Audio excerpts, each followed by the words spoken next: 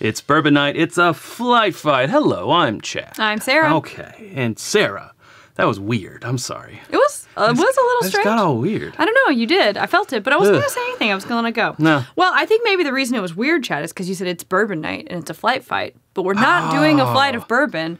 We're actually Rye doing night. a rye. I think you're right, Sarah. I think you're right. Yeah, I am right. It's a value rye flight Hmm. fight. Value Rye Flight Fight. Okay, well, hey, let's just get into it. And Sarah, what did we put in this Value Rye Flight Fight? We have Old Forester rye at 100 proof, Rittenhouse rye bottled in bond, so of course that means 100 proof. Knob Creek small batch rye at, you guessed it, 100 proof, and Wild Turkey 101 rye. That's at 101 proof. So Uh-huh. if right, if you're sensing a theme here, it's value ryes. So obviously price is Well, we a- said that, yeah. right. That we said um, proof, roughly 100 proof. Yeah. right around the 101 being you know All of them right there except that that Wild Turkey Rye. And then also we're, you know, well, we already said value, but value can mean difference in, in uh, price categories. These are all roughly around the same area. We start around $20 with the Old Forester and the Rittenhouse. We go up to technically 37 38 with the Wild Technically. Turkey, but that's a liter. So if you price adjusted for quantity, it would technically be $27. There we go. Which is also the price of, of the, the Knob Knob Creek. I mean, for us, we can't speak for you because we don't know where you are, but these are pretty readily available. We can find these easily if we go looking. So. Yeah, that Wild Turkey 101 can get a little tricky, but that's probably the trickiest one. It's been showing up in our area pretty regularly. Well, Sarah, first flight fight of 2021. Let's get right into it. Let's get rye into it. Ah, with bourbon A. No, rye A. Rye A. Ooh, it's got like a candied cinnamon, sugar, This just smells like a bourbon to me. butter. It is. It is very bourbony Yeah. for a rye, but I do get those little flares of spice in there. For sure. It just smells like a high rye bourbon, which some of these essentially are with the 51% rye. They're bare, what we call barely legal barely ryes. legal ryes. Now, not not all of them. I think the Knob Creek is the one that's like a question mark, just because that's Knob Creek in general. Sure, there's speculations out there, Sure. but yeah, these are all pretty much barely legal. Yeah, very sweet. Very sweet. I get Um, like a lot of candy, sug- sugary sweetness. oh, Oh, sweet. Little zip, little zip of spice. Ooh, t- it tingles the tongue. it is sweet, man. That's candy. I mean, it tastes good, but it's sweet. and a little bitter, maybe like some tea, Mmm. Okay, unsweetened, unsweetened Like tea. black tea? Yeah, Yeah. black tea. easy. I mean, it does kind of build a little bit with the heat and Yeah. the spice. Front of the tongue. Approachable, mm-hmm. chill. Meh, I drink it. I could put this in a cocktail. Sure. I could drink this neat. It's a little sweet, but it is. nutty. Come on. and a little bit of like red hots, hot tamales, yeah. um, cinnamon candy. yes. Yes. This smells like Jim Beam. Kind of. I don't know. Maybe. Or like. Could be. I need to. I need to know is the other two. Sometimes Heaven Hill's been getting a little bit nutty with their Uh, malted yeah, yeah, yeah, um, notes. It gets just a little bit. Sometimes that throws me off. True. Uh, This kind of maybe reminds me more of like an old granddad product, like that high Mm. rye, still Jim Beam. Mm-hmm. You know, this being low rye for rye. I hear that. I don't know. Well, let's just dive in. Ooh, that's Ooh. pretty good mouthfeel right off the bat. Yeah. Oh, Kinda that's silky got some smooth. depth to it. Yeah. I would be surprised if that's not the Knob Creek. Yeah. It just has that signature Jim Beam, like Knob Creek specifically, like depth, that Mm-hmm. dark, rich power of of Knob Creek. I don't know. The power of Knob Creek. feel like I'm You drawing a comic book character. power of Knob Creek. Someone should do that. Captain Creek? Captain Nutty. no, it tails into like a, a peanut butter, almond Mm-hmm. butter type of finish. I'm with you on the almond. Pretty creamy. Yeah. Ooh, nuttier on the second time around. Not as much rye spice as, but it's still there. It's just pretty mellow. Well, we are halfway through round A, so we would just like to do a real quick. If you haven't subscribed to us already, uh, we'd love to have you come on over for things like this and uncorkings and what's nots. It's 2021. If you haven't subscribed already, this is your year. Yeah, and We believe in you. if this isn't the content you want, then tell us in the comments what is the content that you want to see. we'll and do it. well, that's not a No. commitment. Okay. We will read it and consider. No, this is kind of like in the middle of A and B. Still sweet. Still kind of noses like a, a high rye bourbon. I'm getting almost a little bit of citrus But, or yeah, even like melon, like a pop. really fresh, un- almost an underripe melon. I don't know. I'm almost getting like a little astringent, but not quite. Oh, okay. I thought you were gonna say nutty because I was getting a little bit of nutty. Something in here, it almost smells like soap. Hey, hey, No soap on the palate. no, that's well, uh, it's kind of twisting. The initial palate was like, I'm kind of serious. Uh-huh. You know, I'm so far than these other guys. I'm, I'm more uh, badass or whatever. Really? Whatever you want to say. Oh, I find it hard to think that one of these Um, could be more badass than B. um, It's possible, I guess. and it, wow, when I'm talking and getting air over the tongue, it's started starting to sting just a, a wee bit, wee bit. stings the nostrils. Stings the nostrils, yeah. The finish kind of started to, to tank there, but we'll leave it to sip number two. I get like a little bit of a musty, nutty, just a tiny bit Hmm. on the palate. Allspice or clove, but pretty tame. I'm really. I think it might be the spiciest of the three so far. yeah, that's kind of like the the badassness. The badassness that Yeah. talking about. That wryness. Um, sorry, I've been watching Cobra Kai a lot, and so just badass, is just ingrained in the memory. But hash brown it, send it to the internet. Uh, Hash browns. the palate I'm really liking. The mid and then the finish is going a little south in a way that I, I wish it kind of wasn't. I wish it was kind of keeping with what it's bringing on the palate. But otherwise, It gets a little thin towards the back three quarters. Yeah, Not may- three quarters, sorry, back a- third. alrighty then with Rye D. Oh, this is sort of like a Ooh, um, boozy, mm. chocolate covered caramel thing going on. I can't decide is it breakfast or is it dessert? It's it's one of those two. It's like a sweet dessert or, I can or see a being like sweet the bourbon bread. breakfast or a Yeah, I think it's the bourbon bread pudding caramel sauce. aha. Ooh. Yeah, I'm getting caramely and Uh huh. honestly, I'm having trouble getting much else. It's There's a spiciness in there, but I don't know what it's gonna taste like off the nose. to be honest with you, vanilla, but like vanilla Extract. extract. Yeah, you owe me a Coke. You owe me a bourbon. I don't. Okay, I think I can find some. There's some laying around. Oh, that's different than I was expecting. Whoa, whoa, whoa, whoa. Ooh, that's sweet. Oh, I still think if you ask me of all of these, which one's the sweetest, I would say A. Well, we'll find out on round two, won't we? We will. But man, that's missing you like candy. Mandy Moore, late 90s sweet. I don't think it's that sweet. I think it's kind of got like a peppery note in there and caramel. I'm just scratching my head like, what is this? Oh. Like fermented peaches or something? I don't know. Yeah, there's like, syrupy, boozy, boozy yeah. peaches. Peaches from a can. They were put there by a man. And I, someone please start keeping tabs of how many times that I I vote that once Chad uses a reference five times, it's officially Retired? striked, worn out, retired. Can we have like a jersey raising ceremony? And on the jersey it'll say, peaches Okay. come from a can. They're put there by a man in a factory downtown. And then we just raise it up to the rafters. Now you're officially over the count. No, this counts as, as an episode. It's got to be five episodes. Oh lord. Well, I don't know what I've been keeping count of, and that's that we've gone through round one. We're going to take a break and cover these up. We're going to go let our uh, tongues come back down to room temperature. But while we wait, it's the perfect time to tell you about whiskeyambitions.com. It's our home on the internet for our t shirts like this one, our hoodies like this one, the Glencairns that we're drinking from, the water glasses that we're drinking from, rocks glasses, and more always coming soon. That's whiskeyambitions.com. You can become a patron at patreon.com slash it's bourbon and join our community and conversation for as little as one buck a month. And we do after the episode exclusive just for patrons, along with first crack at barrel picks. That's fun. And Yep. lots of other stuff. So you should join. All right, um, we're going to go away, and we will see you back here in a little bit. See you soon. And we're back. Welcome back. All right, time to go through this one more time. As we've always said, second round is where things become more evident. The, the answers reveal themselves. Now, I've definitely said that in more than five episodes. So sugary sweetness. Oh, Very. Oh, I know what this is. Very. I figured it out. Solved. The second nose I know what it is. Point. It reveals itself. I can't help it. Well, that's different now. Much more tea. You get that Tea. tea? Yeah. Tea, orange, burnt marshmallow, Citrus. Yeah. brown sugar, Uh huh. little cherry. Uh huh. Um, Very sweet, but it would be good, really good in a cocktail. I think. depending on the cocktail, I think you'd be right. Yeah. I think it was. This would be really good in like our southern old fashioned. Mm, okay.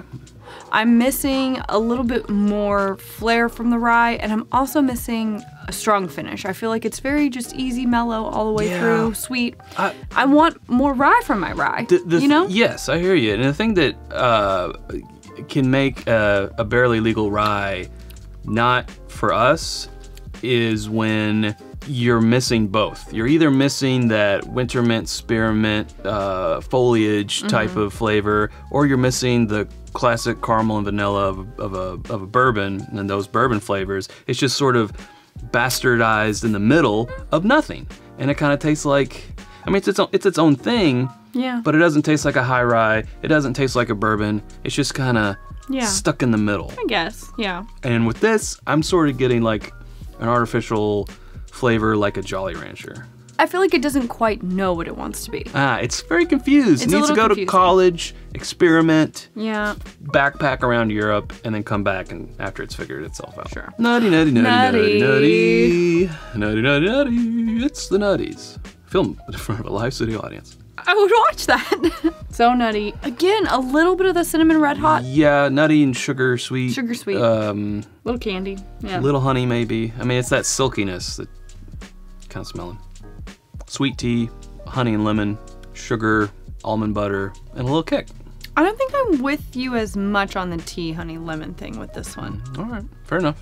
Um, There's no wrong answers in whiskey. but I am with you on the almond butter nuttiness. And again, just like a little bit of cinnamon, but almost in like a big red gum or a, And if you don't chew big red gum, you know what to do. mm-hmm. I like the rich, dark, yummy parts of this. It feels more like a bourbon as well. Here's a question right in the middle of the second round to throw you for a loop. Are we picking just our favorite of these four, taste taste alone, just favorite, yeah. or are we picking our favorite based on the quality of rye? Because if you're choosing a rye, there could be uh, an argument could be mm. made that you are choosing a rye because you want rye flavors. I think as we always have to do, Sarah, we always choose on what we enjoy the most in these flight fights. Yes, I hear what you're saying, but if I bought a rye hoping to enjoy a rye and it didn't taste like rye, Well, that might be an issue. sure. It's sort of the pizza equation. Pizza. What's your favorite pizza? Before you answer, you have to ask back, are we talking deep dish or New York style? Oh, what about thin crust? You've totally forgotten about thin oh, crust. Well, okay, well, I don't really like that crust. With rye, it's like, what's your favorite rye? Okay, we talking barely legal. We talking 95.5 to 100% rye. That's like, a good point. And then what, we price range about? are we talking about? If someone's like, "What's your favorite rye?" but I don't like super minty and, and peppery, then I'm like, "Well, that's different now too." Right. So, So since these are all on the barely legal to around barely legal area, we are accepting that they're going to taste more like bourbons. yeah. So I think we just have to pick what we are liking the best out of these four, and and I think your values are always going to usually be more around the barely legal because rye mild. is a more expensive grain. Sure. Okay, I accept. All right, We will do that, and on to Ricey Take Two. ricey. I'm I like this nose. I can't agree with you. really? I'm still getting a really like almost like pine sol, citrus and cleaner or soap. Um, Okay, big deep breath. I can see where that's coming from, but I I think can't this get over it. smells more just like a bourbon, to be honest with you. I don't, I don't know know. if you know it or not, but I, I, I kind of like bourbon. Yeah, I'm a little hung up on that. Um, I don't know. We'll have to see how they do in the side by side. The nose is my least favorite part. Everything else I'm fine with. That description does not equal the taste. Yeah, I'm glad that doesn't carry over into the palate. It's um, it's also got that citrus in there, like A, but I think toned down to a reasonable level. Mm-hmm. It doesn't taste synthetic of the uh, of citrus. We're filming this during rye months. We've been having a lot of ryes, a lot of 95.5, 100% ryes, Canadian ryes, all over the place, and this just doesn't taste like Yeah. a rye, it tastes like a barely legal rye, sure. But it's almost like you're judging it as a bourbon and just flavor itself, I'm enjoying it. Yeah, I'm fine with it. Oh, now it's Still more, more caramel Yeah. chocolate, little bit of a little savory zip, this time. A little savory. Yeah. Yes. Oh, like candied bacon or, or something. It's just so I'm still getting like before round Okay. A, I was like, is it breakfast? Is it dessert? I think it's a very sweet breakfast item. So we were doing a live recently, and you described a yeast donut that had a caramel Oh. brown sugar frosting. Yes. With, I don't know if you said bacon on top or not, but Uh, this is that donut yeah, with the uh, uh, bacon on the top. Eventually, I got there. Yes. Yes. Yes. I feel that way Yeah? about the nose on this one. Yeah. Caramel. Now I want pizza and a donut. caramel bacon donut. Damn, this smells good Golly. when you're hungry. Now I'm hungry. And it kind of tastes that way too. Yeah. I mean, not as on the nose as the nose, but I still get that caramely brown sugar frosting yeah. with something that's savory pepper. I think I said that last round. Pe- Yeah, something that's pepper. peppered. Yeah, crushed Just black pepper. cracked pepper, yeah, mm-hmm. yeah, yeah. It's not overly sweet. Yeah, it's sweet, but it's not like over the top. I don't think it's as sweet as A. And again, I think as rye A, and I think I said that last time. I think the pepper is what's setting that apart from this. It's like balancing the sweetness of that like brown sugar caramel frosting. I agree. Okay, well, we've gone through two rounds here and we've discovered a lot of things, but now it's time for us to A B test these back and forth. Now we try the things that weren't back to back, back to back. So this is the part where we'll, we'll uh, That rye's working. so this is the part where we will leave you. We'll be back at results time.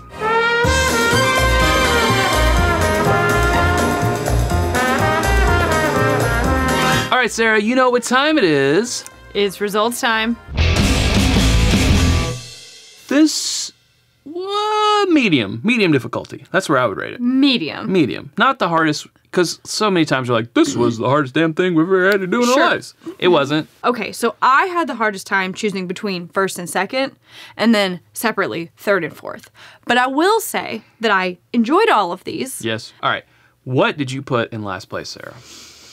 In last place, I put rye C, and again.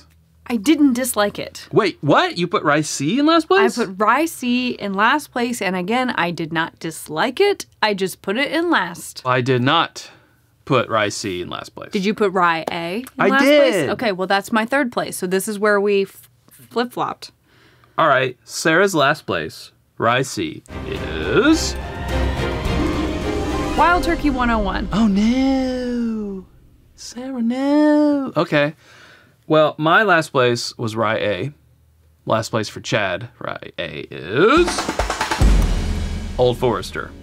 So your third place. Is Old Forester. My third place, Wild Turkey 101. 101. And you know, big Wild Turkey fan here and here. I like Wild Turkey too. I said I didn't dislike it. I just. What, what we've what we've never really done with Wild Turkey 101 Rye is drink it neat. We always put it in cocktails. 101 rye, yes. it is Yeah. so. It's like one of my favorite things to use in a cocktail because I feel like it really punches through. we just don't drink it neat. never don't. never really have. And third, last, it kind of shows. yeah, I'd rather have Wild Turkey 101 totally, regular. Totally. All right. Would you put in second place? In second place, I put rye B, So did I. So that means we have the same first place. which is rye D. D. And this revealed itself in the taste, the back to back yeah, the tasting. back-to-back Because when we left the second round, I thought I'm gonna pick rye B. After enough back and forth, I was like, wait, Yeah, when you put because we didn't have B and D back, to to back, back. obviously. Yeah. because they're B and D. But when we started doing that A/B testing, yes, that's when it kind of Yeah. revealed itself. Like there was a little something. There were really good- Special about Right. Rye D. Let's reveal our first place. Let's so you'll it. know what our second place is. Uh, in first place, the best. It's Bourbon Night Flight Fight Value Rye around 100 proof. Yes. there's a bug. Okay. Rittenhouse Rye.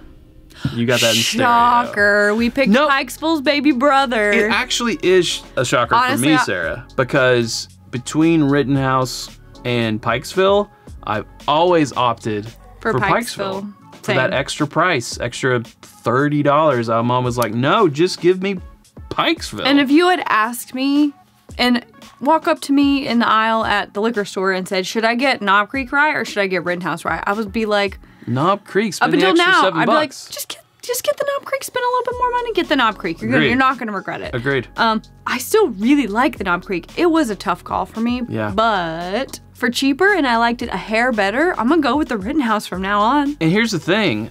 Yikes. Much like the Wild Turkey 101 rye, I had kind of put the Rittenhouse rye in that same box. It's not for drinking neat, it's for cocktails. Lower proof cocktails. I'd rather go that little extra 101 or maybe some OGD 114, let's be honest. Yep. But here we are in a flight fight in Rittenhouse, a $20 bottle and bonds, you know, Heaven Hill product has come in first place for us. I am surprised. Who would have thunk it? I am honestly surprised. Yeah. Yeah, my money would have been on the Wild Turkey 101 or the Knob Creek. I was probably, the Knob predicting Creek. the Knob Creek, I which was came pretty in much second all in on the Knob Creek, I mean, especially B is Knob Creek. Yep but especially considering how well just Knob Creek Small Batch did in our um, Best Under 50. Yeah. Like, there's a lot to consider. Um, but 60, yeah. 6,430.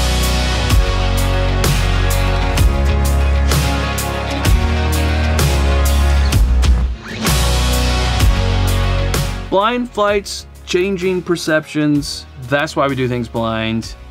Here we are now just a little bit more enlightened because of it, I'm a little smarter. and happier for it. You know. All right. Well, hey, this is uh, this is where we're gonna leave it. This Um, will be. if you haven't subscribed to us already, we said that earlier before, but now you have a chance to click right up here to do so. There's suggestions of other videos right down here. We hope to see you over there in one of those. Thanks, Sarah. Thanks, Chad. Okay, until next time, drink more rye.